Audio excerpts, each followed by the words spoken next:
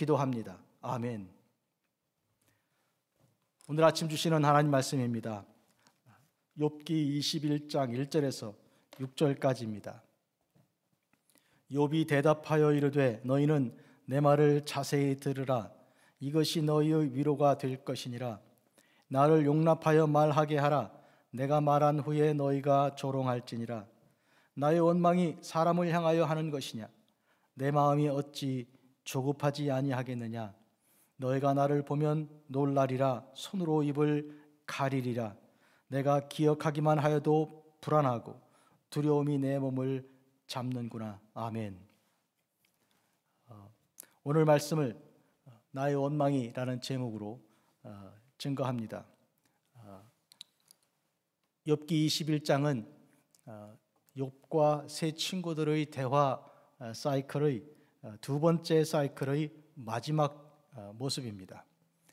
각 사이클은 욥의 그 세 친구들이 엘리바스, 빌닷, 소발이 각각 돌아가면서 욥에게 말을 하고 그 말에 욥이 각각 대답을 하여 첫 번째 사이클이 끝납니다. 이제 두 번째 사이클도 엘리바스, 빌닷, 소발 이렇게 하여서 각각 대답을 하였고 이제 소발의 어, 그 말에 욥이 대답하면서 21장이 이제 열립니다. 21장이 끝나고 나면 22장부터 세 번째 사이클이 시작합니다. 아, 엘리바스, 욥, 빌닷, 욥.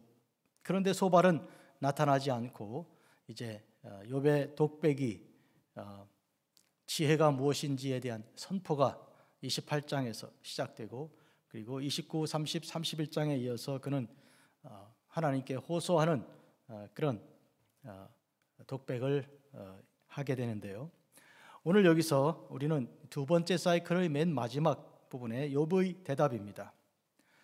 아, 여기서 읽은 본문을 우리는 별로 어렵진 않은데 읽으면서 뜻이 쉽게 와닿지 않는 것을 알 수 있습니다. 너희는 내 말을 자세히 들으라 했고 이것이 너희의 위로가 될 것이니라 했습니다. 앞부분과 뒷부분은 무슨 관계가 있습니까? 내 말을 자세히 들으라 하는 당부의 말과 이것이 너희의 위로가 될 것이니라 어, 누가 위로가 필요한 것인가요? 너희의 위로가 될 것이다 하는 말은 너희들에게 위로가 될 것이란 말인가요? 아니면 어, 너희들의 위로가 어, 나에게 제대로 될 것이다는 뜻인가요? 어, 네, 두 번째에 해당되는 말인데 그렇게 이해하기는 본문이 참 어렵습니다. 너희 이것이 너희 위로가 될 것이다 하는 말은 너희들이 나에게 올 때 나를 위로하러 오지 않았는가? 그리고 이 첫 번째 사이클 사이클도 그러하였거나 두 번째 사이클에서도 너희들의 마음의 동기는 나를 위로한다는 거 아니냐? 명분이 그런 것이다. 그렇게 위로한다고 하면서 하는 말들이 어, 전혀 나한테 위로가 되지 않고 있으니 너희들의 위로가 뭔지 내가 지금 이야기해 주겠다 하는 것입니다. 너희들이 과연 나를 위로하려고 한다면, 진심으로 나를 위로하려고 한다면, 그렇다면 너희는 내 말을 자세히 들어야 한다. 그 말이에요. 아, 자세히 들으라 하는 말은 사실은 아, 동사를 두 개를 반복한 그런 어, 말입니다. 어, 너희는 어, 내 말을 듣고 또 들어야 한다. 그런 말이에요. 듣는다는 말을 두 번 반복해서 사용하는 그런 표현입니다.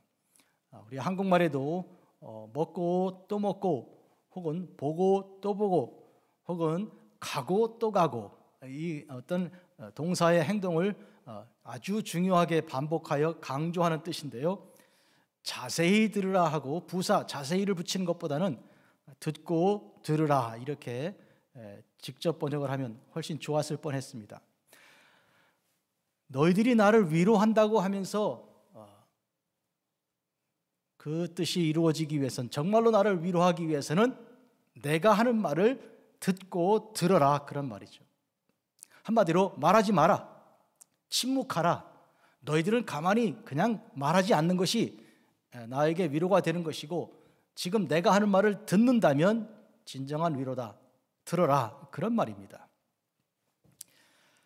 욥이 당한 고난을 어, 위로하기 위해서 세, 친, 세 친구가 먼 데서부터 왔습니다. 그들은 먼 발치서부터 욥이 망한 것을 다 보았습니다.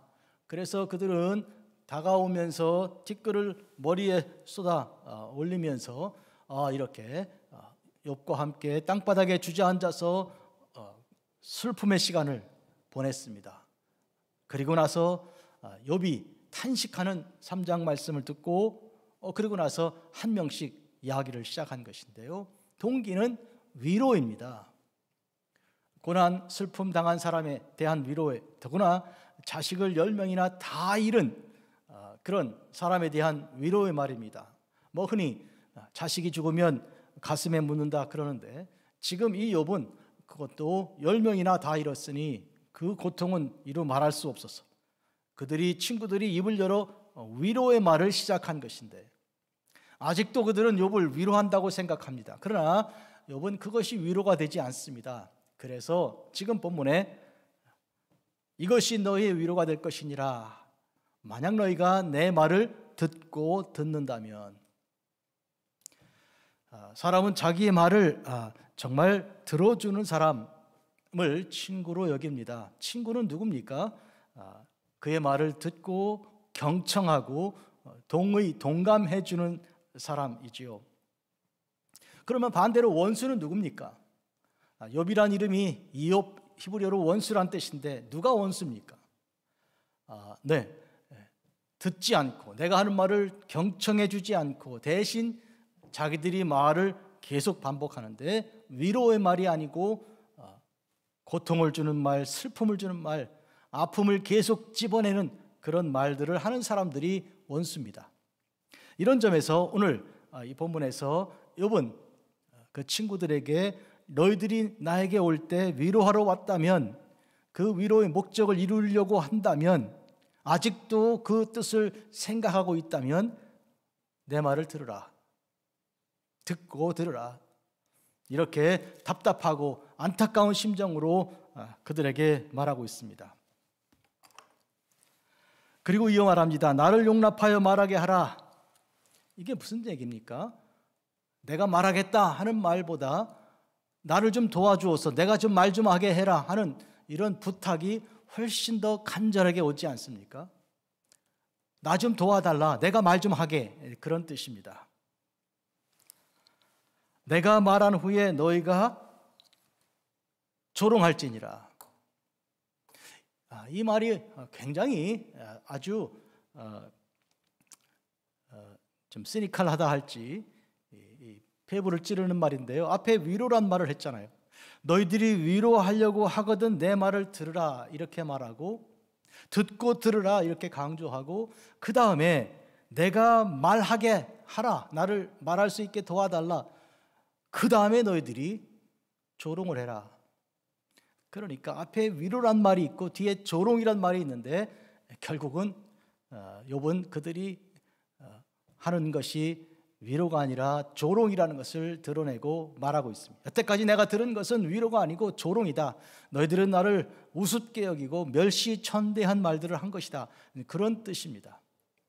그러니까 아, 너희들이 내 말을 다 들은 다음에 말하려면 말해라. 그것이 조롱이라도 아, 그런 뜻이죠. 아, 그러니까 욥은 그 속에서 답답하여 마치 이 배가 불로 터지기 직전 같은 그런 상황에서 지금 아, 이렇게 부르짖어 안타깝게 말하고 있는 것이죠.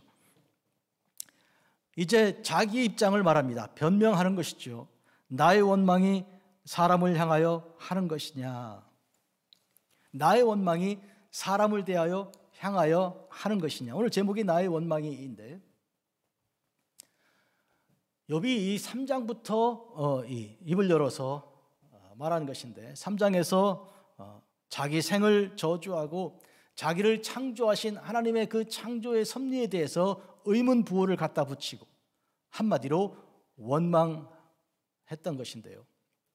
이것에 대해서 친구들은 발끈해서 아, 이제 말을 어, 시작하게 되는 것인데 위로라고는 하지만 위로의 동기로 왔긴 하지만 그러나 욥에 대해서 마치 욥이 아, 욥이 자기들을 상대하여 자기들에게 어떤 공격을 하는 것처럼 자기들을 괴롭게 하고 자기들을 힘들게 한 것처럼 마치 한 대 얻어 맞은 사람처럼 이렇게 상대방에게 아주 가격을 계속하는 그런 모습인데 요번 말합니다. 나는 너희들에게 원망한 바가 없다. 나는 원망이 있다면 하나님께 하는 것이지 너에게 하는 것이 아니다. 너희들은 상관없으니 물러나라. 그런 뜻이죠. 내가 너희들에게 한 말이 아니고 하나님께 내 하나님께 기도한 것이 내 하나님께 아뢰인 것인데 왜 그걸 곁에서 듣고 너희들이 발끈하는가? 너희들이 무슨 하나님의 대리자라도 되는가? 이렇게 지금 말하는 것입니다. 나의 원망은 내가 내 쏟는 이것은 하나님께 향하는 것이다. 그런 뜻이에요. 어, 어린 시절 저는 어, 저희 어머니가 어, 교회당에 가셔서 어, 담요를 안고 가서 밤새도록 부르짖고 기도하는 그런 어, 이 아주 어, 기도 소리를 들으면서 이 잠을 자지도 못하고 그 소리에 바로 교당 옆에 주택이 사택이 있었으니까 어, 그랬던 기억이 많이 있습니다. 어머니는 하나님께 대하여 어, 쏟아 놓으려고 어, 그렇게 가는 것인데 그때 그럴 때마다 아버님은 그왜 피곤한 몸에 집에서 좀 잠 좀 충분히 자지 새벽 기도도 가야 되는데 그렇게 하면 나 하나님과 아, 대화를 이야기를 좀 해야 되겠어요. 어, 심지어는 내가 하나님과 좀 싸워야 되겠어요. 이렇게까지 말하고 부, 어, 교회로 어, 가시는 것이었어요. 어, 그만큼 간절한 것이죠. 하나님만 내 속을 아시고 내 마음을 내 생각을 들어 주실 수 있는 분이시니까 그렇게 물 쏟듯이 하나님 앞에 심정을 쏟아 내려 붓는 그런 기도를 드린 것이죠. 그러니 나의 원망이 나는 사람을 향한 것이 아니다. 내 마음이 어찌 조급하지 아니하겠느냐. 이 조급함이라는 것은 마치 어, 시편 41편에 목마른 사슴이 시냇물을 찾아 달려가는 것 같은 것입니다. 여러분 목마른 사슴이 시냇물을 찾아 달려가는 그 모습을 보면서 우리가 우리 인생으로 우리 삶으로 그것이 적용된다면 그것은 무슨 뜻인가 하면 나를 위로해 줄 수 있는 분을 찾아가는 것이죠. 사람에게 실망하고 사람의 그 어, 위로라는 명목으로 준 말들이 상처가 되고 조롱이 되어 그런 가운데 고독한 가운데 내가 살기 위해서는 나를 지으신 하나님, 나를 사랑하시는 하나님, 나를 구원하시는 하나님을 내가 만나야 되겠다. 그 하나님에 대한 간절함을 가지고 지금 조급한 것이죠. 이 조급한 심정을 목마른 것이라고 말할 수 있고 어, 마태복음 5장 3절에처럼 심령이 가난하다고도 말할 수 있겠습니다. 아주 헝그리한 어, 것이죠. thirsty하고 헝그리한 것이죠. 목마르고 배고픈 것이죠. 하나님의 그 어, 심령 안에서 주시는 심령 안에 하나님을 향한 갈급함이 있는 것이죠. 간절히 찾는 것이죠. 이런 자에 대해서 하나님께서 나를 간절히 찾는 자가 아, 나를 만날 것이다 하신 말씀이 오늘 기억됩니다. 자, 아, 그러니 나의 마음이 어찌 조급하지 아니하겠느냐? 나는 간단하고 가볍게 사람의 위로를 구하지 않는다. 하나님의 위로를 구하는데 내 마음은 조급하다.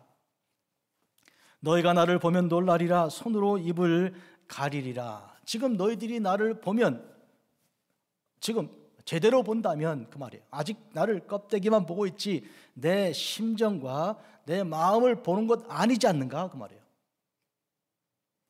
지금 너희들은 당연한 것으로 판단하고 아, 그러니까 아, 이 사람이 죄를 지었으니 벌을 받은 것이다.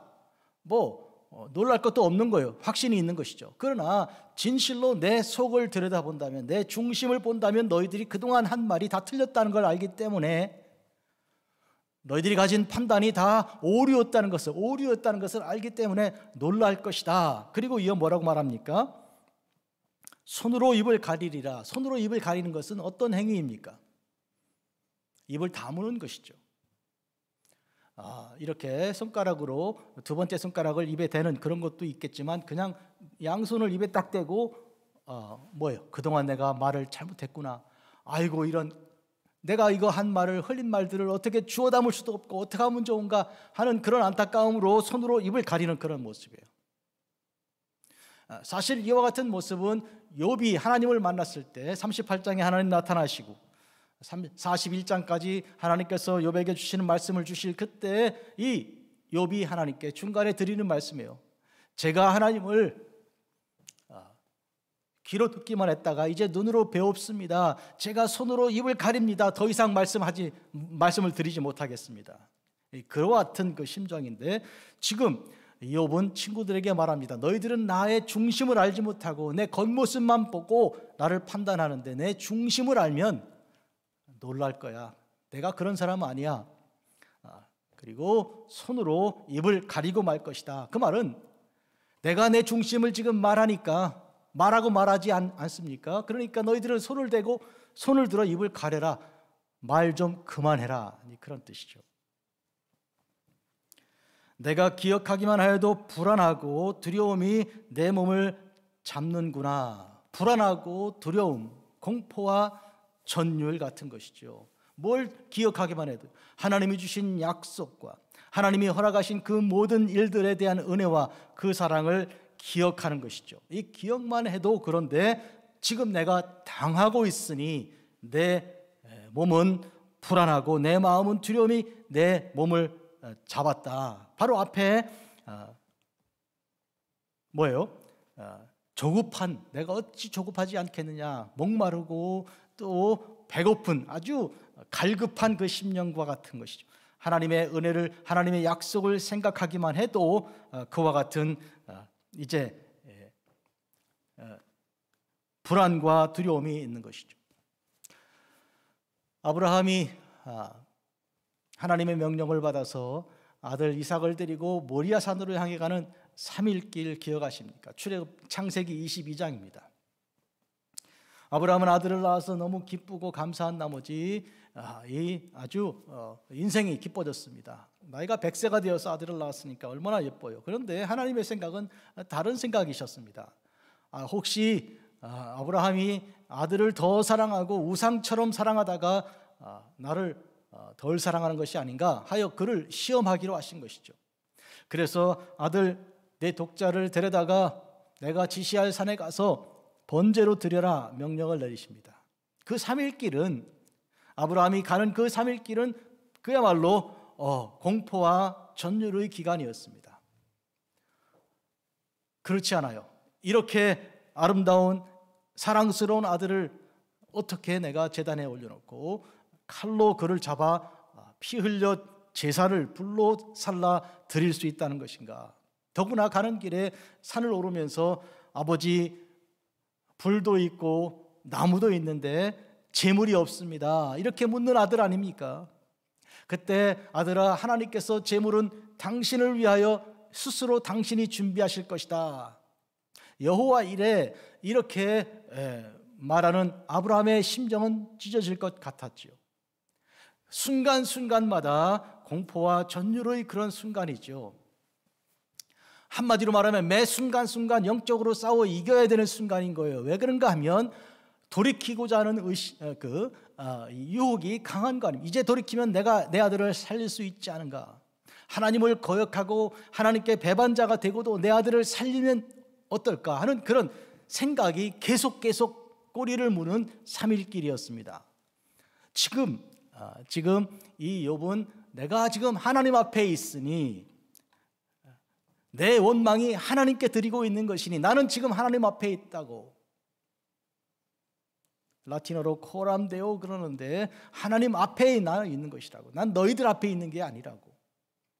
그러니까 너희들은 입을 다물고 손으로 입을 가리고 아, 그리고 아, 진정한 위로자가 되라. 내가 하는 말을 좀 들어라. 너희들은 입 다물고 그런 아, 말이 지금 21장에서 욥이 두 번째 사이클을 마지막에서 소발에 대해서 하는 말입니다. 아, 사랑하는 성도 여러분, 오늘 이 본문에서 우리가 얻어야 할 것은 이것입니다.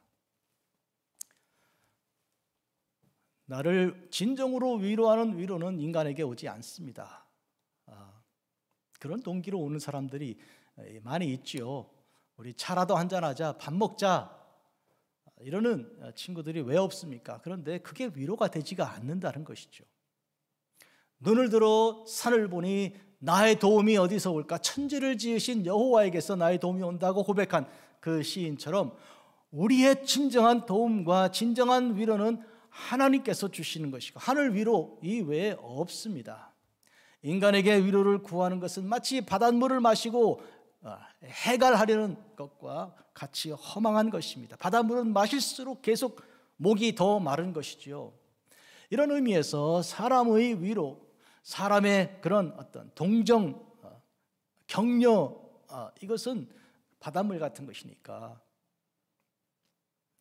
그동안 사람들의 둘러싸여서 사실은 위로라는 이름으로 다가온 그 조롱을 받으며 산 여러분 모두를 오늘 이 시간 주님께서 인도하사 엽과 같이 코람되어 하나님 앞에 하나님 앞에 서게 하시는 것입니다. 나의 원망이 사람을 향하여 하는 것이냐? 사랑하는 성도 여러분, 여러분들이 기도할 때 탄식하고 어, 흘리는 그 눈물을 가지고 주님께 나아가는 것이 이것이 진정한 위로를 얻는 길이고 사는 길인 것입니다. 한 가지만 비교하여 말씀드립니다. 이스라엘이 광야에서 하나님을 대하여 원망하고 어, 어, 불평했던 것과 이 욥이 지금 하나님께 대하여 드리는 그 원망의 차이가 있습니다. 큰 차이죠. 욥은 하나님께 예배를 드리며 예배 중에 이와 같이 탄식을 쏟아놓는 것입니다. 시편에 있는 탄식 시편들과 같은 맥락이죠. 예레미야와 같은 맥락이고 아, 엘리야와 같은 심정입니다. 모세와 같기도 한 것입니다. 그런데 광야의 이스라엘은 믿지를 않았습니다. 세상을 더 좋아했고 세상으로 달려 나가고자 하는 마음이 있어 지도자를 세워 그를 따라 애굽으로 애굽으로 돌아가고자도 하였습니다. 이런 의미에서 큰 차이가 있습니다.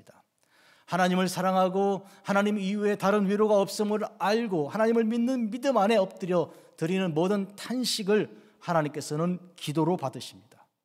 기도하겠습니다. 자비롭고 거룩하신 아버지 하나님, 아침에 하나님의 놀라운 사랑을 저희들이 이 시간 경험합니다. 참된 위로는 사람에게서 오지 않습니다. 먼 데서 와서 티끌을 날리며 같이 울어주던 그 친구들에게서도 위로가 오지 않습니다. 오늘 이것을 우리가 분명히 깨닫고 나를 사랑하사 나를 위로하고 나를 구원하기 위해서 당신의 아들을 십자가에 못 박으신 우리 하나님 이외에 누가 나의 위로가 되겠습니까? 누가 나를 도울 수 있습니까? 오늘 이 질문을 진지하게 놓고 고민하는 그리고 기도하는 하나님의 종들의 기도를 들으시고 하나님 저들의 가장 속 깊은 곳에 인간이 결코 가 닿을 수 없는 그 심령 깊은 곳에 주께서 오셔서 참된 위로와 참된 능력을 내려 주시기를 간절히 구합니다. 사랑하는 주님, 인생들은 다 고독합니다. 인생들은 다 죽음 앞에 떨고 있습니다. 인생들은 다, 다 갈급합니다. 이와 같은 때에 주께서 우리에게 주신 이 놀라운 은혜를 이 시간 저희들이 깨닫고 묵상하오니 하나님 저희들에게 참 위로가 되시고 참된 긍휼하심과 참된 은혜로서 저희들을 감싸 주셔서 이런 갈급함을 주님의 은혜로 채워 주시고 이런 조급함을 주님의 사랑으로 만져 주시고 두려움과 떨림, 공포와 전율을 주의 사랑으로 주의 은총으로 덮어 주시옵소서. 예수님의 이름으로